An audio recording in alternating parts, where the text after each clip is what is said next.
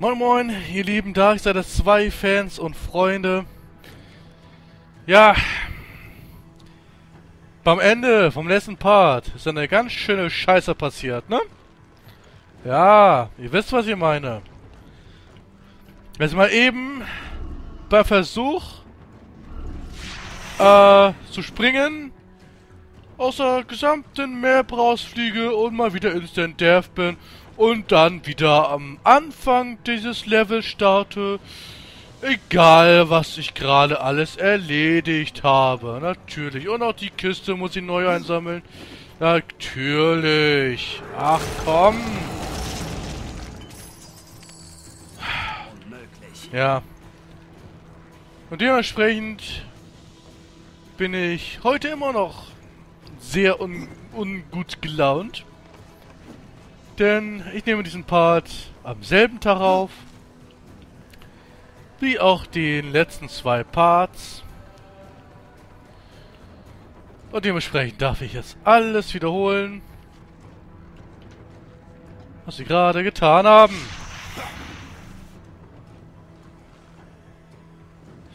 So. Komm. Ja, los.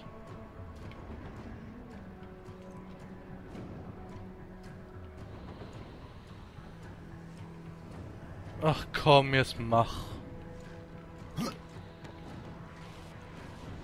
So, jetzt sind wir hier wieder. Kamera dreht sich wieder selbst irgendwie lang, wie es gerade will.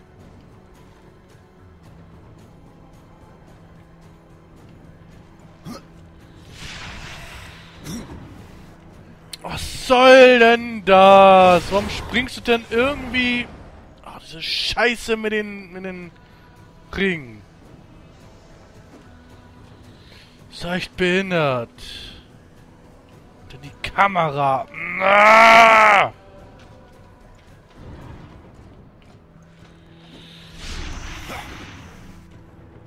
Spring doch geradeaus weiter! Wie ich das auf die Befehle beim Drücken? Nein! Du machst irgendeine Scheiße da. So. Zum Vergleich, um zeigen. Ich habe meine Hände nicht am äh, Kamerastick. Und das ist hier die mit der Kamera. So schwingt sie hier rum wie soll man so bitte springen und spielen können? Gerade bei der Sprungpassage. Kann mir das mal jemand sagen?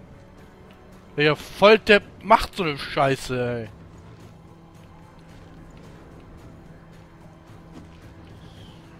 Oh, hallo! Ich kann nicht mehr. Ja, du mich auch.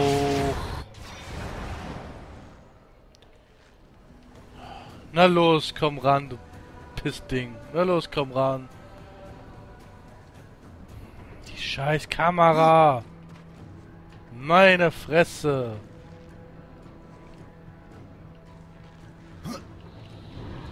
Ja, wegen der scheiß Kamera, weil sie wieder verstellt hat beim Springen. Soll man nach geradeaus springen, wenn die irgendwie so macht? Meine Fresse! Ist unspielbar!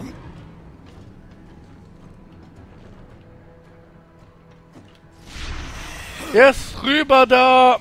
Du sollst gerade springen! Aber hallo!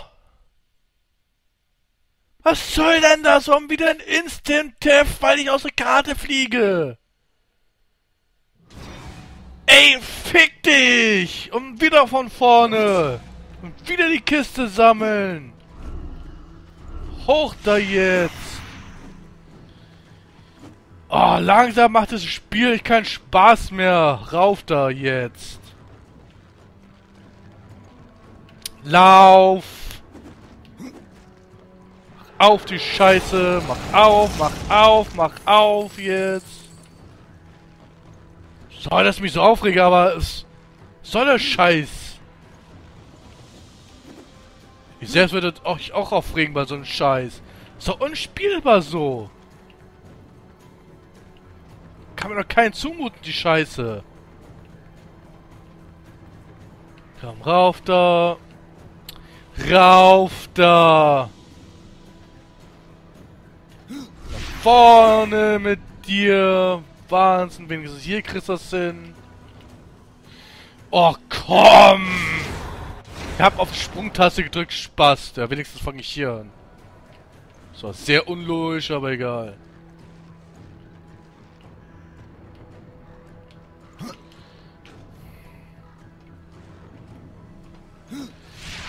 Jetzt rüber! Oh Mann! Ich drück doch nach vorne, dann muss er nach vorne springen! Was ist denn für ein Problem? Ist das dir so schwer oder was? Ja.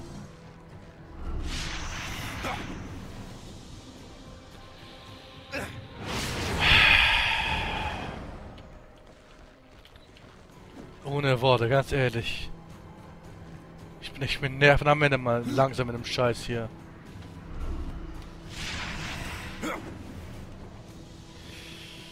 Ey, fick dich doch.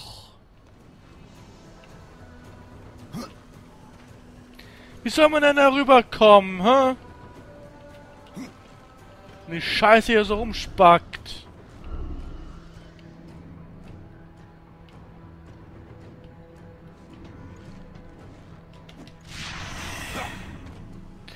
Ich drück doch nach vorne, Mann! Ich drück doch nach vorne, dann muss er nach vorne springen und überhaupt mal springen. Und nicht dich festklammern oder irgendwie sonst wie springen, ey. Komm los. Hab ich keinen Bock mehr drauf. Meine Fresse, los.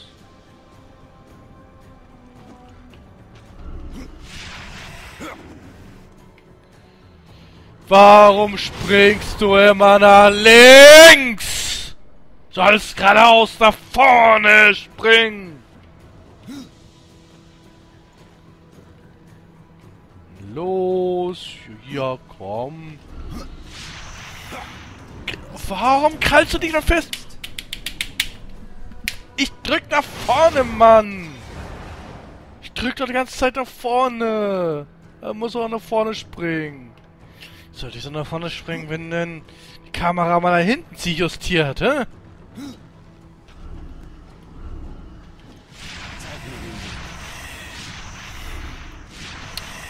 Stirb, los, runter, genau, fight, all Massas. Schwanzhund, ey. Komm, na los, na los, los, los, los, los.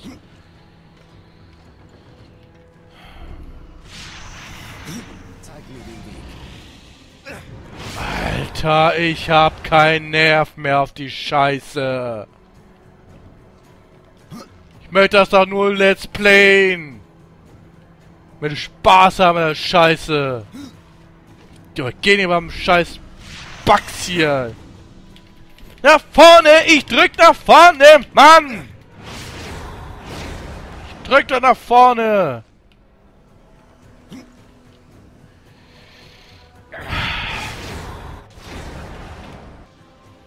So. Nach gefühlten zwei Stunden habe ich es jetzt endlich offscreen hingekriegt, darüber zu kommen. Meine Fresse! Kann doch nicht so schwer sein. Ich kann nicht. Ja, dann fick dich. Hast du wenigstens saufen? Das kann ich noch nicht benutzen. Ach komm, ey. Idiot. Oh, es geht ja nicht weiter, hoffentlich. Oh, wunderbar. Na klar. Lass dann geben wir so Stellen auf den Sack. Ist alle eine tolle Idee. Und wenn es immer funktionieren würde, wäre es nochmal toll. Aber natürlich funktioniert sie.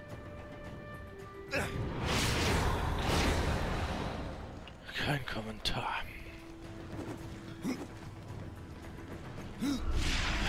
Rauf da rüber. Hoch, bitte hoch.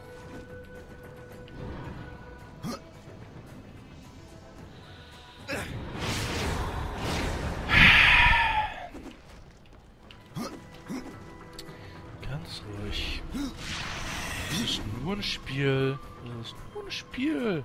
Spiele haben Bugs. Ja. Alle Spiele haben Bugs.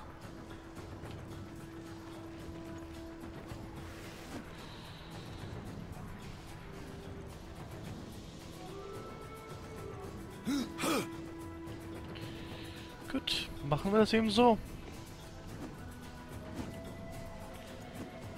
Rauf. Rüber. Bitte. Fein.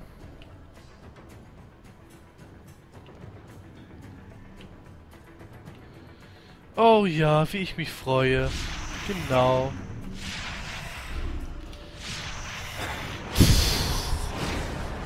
Klar. Ist klar. Ja, ist klar. Genau. Ist ja, ich drücke nach vorne. Das ist dem aber scheißegal und der klammert sich einfach fest und macht nix. Hallo! Hättest du da festhalten können! Ist... Ja, oder so. Spawn einfach jetzt hier drüben. Hab ich auch keine Probleme mit.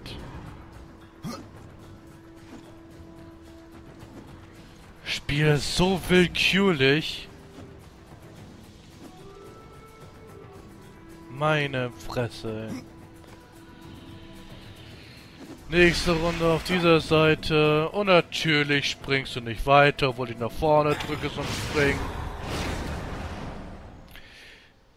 Natürlich genau. Pff, warum auch, ey.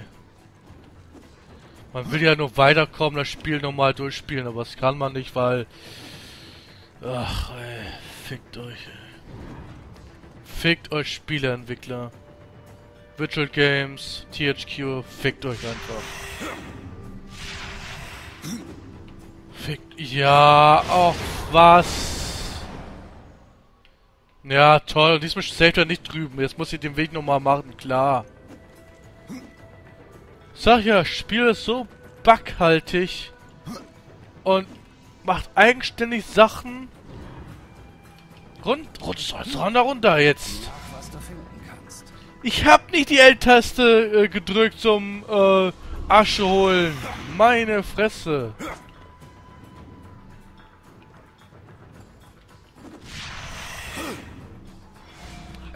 Wieso hält sich da nicht fest, hä? Wieso hält sich da nicht fest, Mann? Wie soll man das Spiel spielen können, wenn die Person sich nicht festhält, weil er nicht weit genug springt. Und mehr als nach vorne zum Springen drücken, kann ich nicht. Soll er extra mir einen Trainer runterladen und Flugmodus aktivieren oder was? Ist das, was ihr wollt, ihr Entwickler? Hä? Ist es das? Langsam glaube ich das nämlich.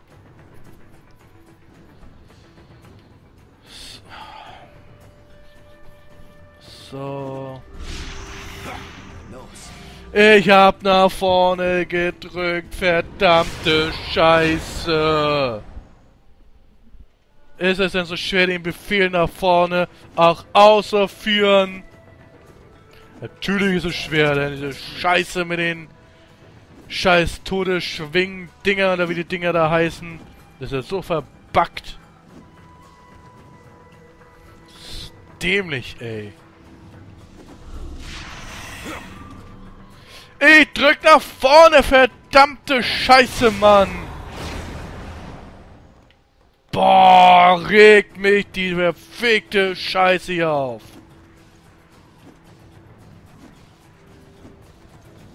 Scheißegal, ob diesen Part überhaupt da jemand sieht.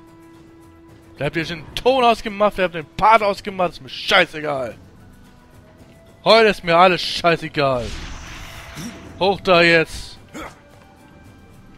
rüber. Klar, und jetzt springt ihr durch den Balken.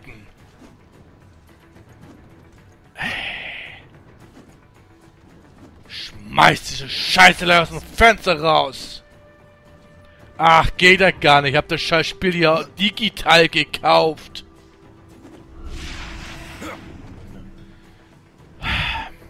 Klar. Warum nach vorne springen, wenn ich nach vorne drücke? Das ist nur eine Tasteneingabe, die vom Spiel eigentlich aktiviert werden muss, wenn man die drückt. Klar, pff, scheiß drauf. Künstliche Spielstreckung oder was? Spielzeitstreckung.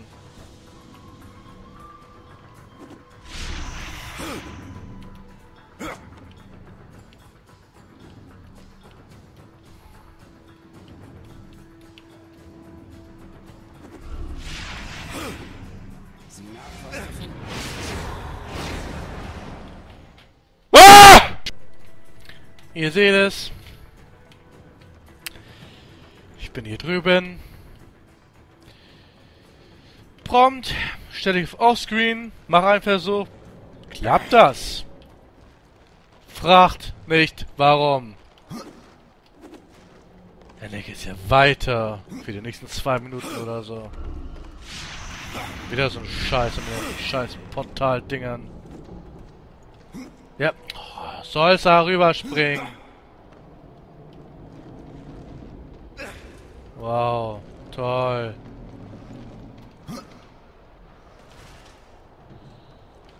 So, was haben wir denn hier unten? Top, gar nichts.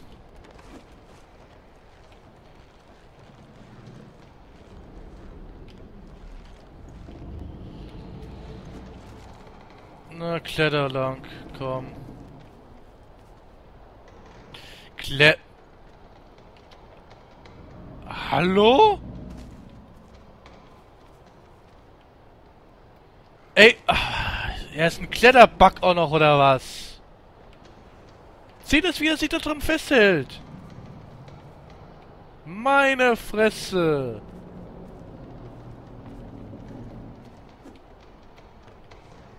Ach super, da komme ich gar nicht. Oh, komm. Meine Fresse, ja hoch. Geh halt da durch. Geh weiter.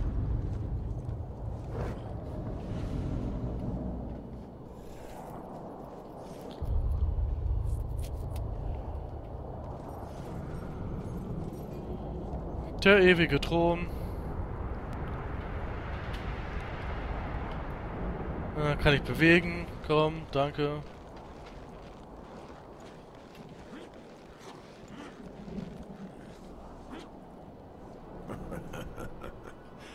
Hat der Kanzler dich geschickt? Nun, Reiter, ich habe den Tod schon einmal besiegt. Und ich kann es wieder. Ich habe keine... Ich habe keine Ahnung, wovon du sprichst. Natürlich nicht. Du stinkst immer noch nach Hoffnung. Du hättest dich nicht mit dem Kanzler treffen können. Kanzler klingt nicht nach viel. Seit Ewigkeiten lässt seine Zunge Gift in die Ohren des Königs der Toten tropfen. Er sitzt fast auf dem ewigen Thron und er verlangt Dienste. Wer bist du? Ich bin der Meister der Klingen. Und alles, was von dem Krieger aus dem Reich der Menschheit übrig ist, der einst traben ließ. Ich hätte vor langer Zeit den Quell der Seelen passieren sollen. In der Arena habe ich meine Freiheit gewonnen. Nur um unter das Joch des Königs der Toten zu geraten. Ja, sehr interessant. Was können wir lernen? Gottesfaust. Ja, kaufen. Das kam unerwartet. Oh ja. Soll er mal Sprachausgabe wieder lauter stellen, ansonsten versteht er ja gar nichts. So, und jetzt geh erstmal hier runter. Ladevorgang, ey. Verarschen.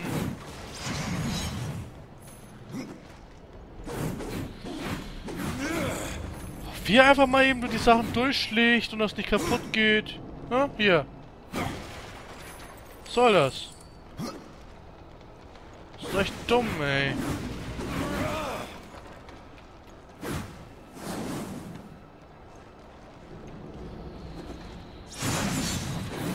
Ach ja. Ja, wir haben ja da diesen Typen da kennengelernt, der von einem Kanzler die, äh, redet. Den Kanzler haben wir aber noch nicht mal getroffen. Sehr netter Spoiler von ihm. Aber naja. Oh, da wird eine Münze eingesammelt. Wow.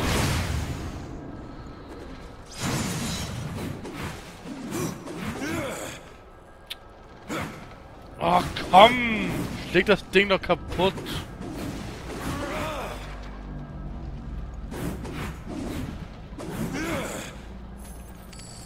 So. Jetzt ist wieder Schlangenfoliant. Ich habe aber nichts.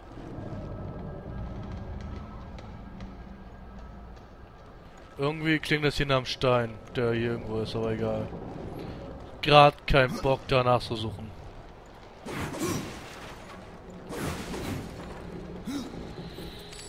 So haben wir das Gold ein hier. Und dann weiter.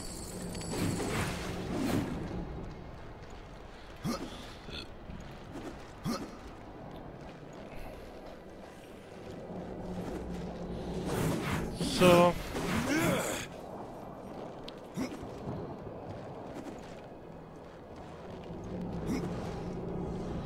Geh zum Thronsaal, sprich mit dem Fürsten der Knochen. Gerne. Niemand stört den Fürsten der Knochen ohne Erlaubnis seines Kanzlers. Ein Reiter im Königreich der Toten? Nein, nein, das funktioniert niemals.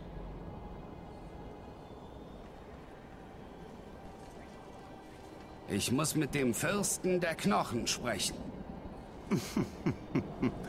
oh, das ist unmöglich.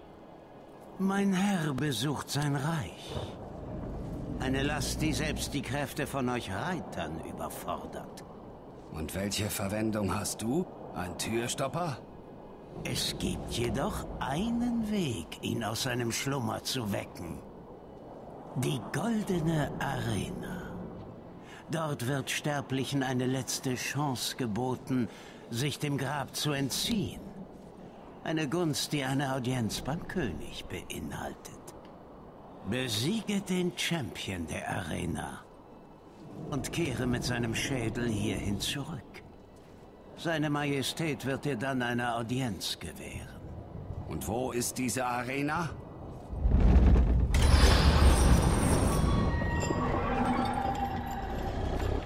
Mach dir keine Sorgen, Reiter.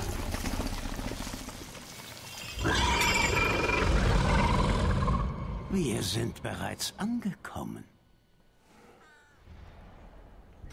Lass mich mit dem Fürsten der Knochen sprechen. Dann werde ich euren Champion verschonen. Und dich vielleicht ebenfalls, Kanzler. du kannst nicht erschlagen, was bereits tot ist.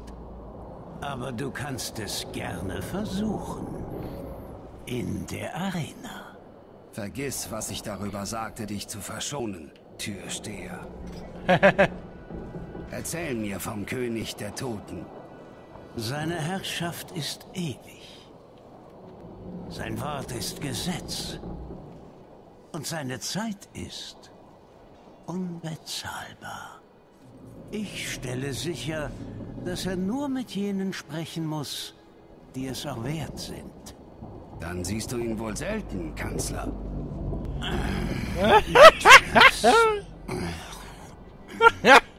Was hat Achidna mit eurem Königreich zu tun? Wie ich hörte, hatte sie ein eigenes. Das Schattenreich Isselik, ja. Wo die blinden Schwestern ihre Netze spannen. Viele Feinde meines Herrn flüchteten damals dorthin, als seine Herrschaft noch jung war. Wir jagten sie. Achitna konnte so gerade entkommen. Vielleicht suchte sie dort Unterschlupf und webt dort noch immer ihre Bosheiten. Euer König ist nicht der Erste, der hier herrscht, richtig, Kanzler? Es gab einen anderen. Eine Kreatur namens Argul. Zu verrückt, um ihn auf dem Thron zu lassen. Ich half meinem Herrn, ihn loszuwerden und vernichtete sogar einige seiner Diener. Tschüss, tschüss, tschüss. Was würde mein Herr nur ohne mich machen? Sei in der Arena vorsichtig, Reiter. Sollte dir etwas passieren, bin ich mir nicht sicher, ob ich damit leben könnte. Du bist tot, du wirst niemals leben. Ja. Ja, wir haben Fähigkeitspunkte erhalten. Unter anderem das. Und unter anderem haben wir jetzt eine neue Aufgabe bekommen. Aber erstmal nochmal mit, mit ihm Der fahle Reiter in Fleisch und Blut. Du sagtest, du hast in der Arena gekämpft. Bist du gegen den Champion angetreten? Ja. Und wenn du beabsichtigst, dich mit diesem Schläger anzulegen, musst du verrückt sein. Ich möchte eine Audienz beim König der Toten. Wie ich es mir dachte. Verrückt. Gnashor wird dich in Stücke reißen. Ja, ja. Du hast die Arena überlebt. Nun, Teile von dir haben es. Die Bestie ist stärker geworden, seit ich mich ihr gestellt habe. Sie nährt sich von Zorn und Fleisch jener, die durch sie fallen. Ich habe ums Leben gekämpft, um zur Erde zurückzukehren und eine große Armee anzuführen, die alles erobern kann. Doch hier diene ich. Ich, Draven, der sich nie vor Menschen beugte. Dass der König der Toten weniger ist, macht es nicht besser. Das nennst du das Reich der Toten? Ich habe noch keinen Leichnam getroffen, der nicht versucht hat, mich zu töten. Es gibt Wesen in diesem Reich, die es nicht beim Versuch belassen. Ich nenne sie die Blutlosen. Albträume aus Klauen und Knochen, die nicht mit gewöhnlichem Stahl erschlagen werden können. Es muss eine Möglichkeit geben, sie zu töten. Blutlose sind verwundbar durch Dinge des Geistes. Gleiches tötet Gleiches. Ist es das? Ja. Und da der König der Toten sehr angetan ist von seinen Blutlosen, solltest du so viele wie möglich töten. Wie entstehen diese Blutlosen? Seelen müssen die Stadt der Toten durchqueren, bevor sie im Quell neu geboren werden. Aber manche entkommen ihren Qualen und suchen andere Reiche heim. Und so wandeln die Toten wieder. Und die Verdorbensten unter ihnen werden zu Blutlosen. Ihr Fleisch kann vernichtet werden, aber ihr Geist widersteht dem Töten. Ja, und wir haben eine neue Quest bekommen. Töte drei Blutlosen in den Reich der Toten und drei Blutlosen in den Schmiederlanden, aber das machen wir ja später. Ja, eine weitere Kill-Quest, warum auch nicht. Äh, ich guck eben kurz wegen der Zeit des Pates, Moment.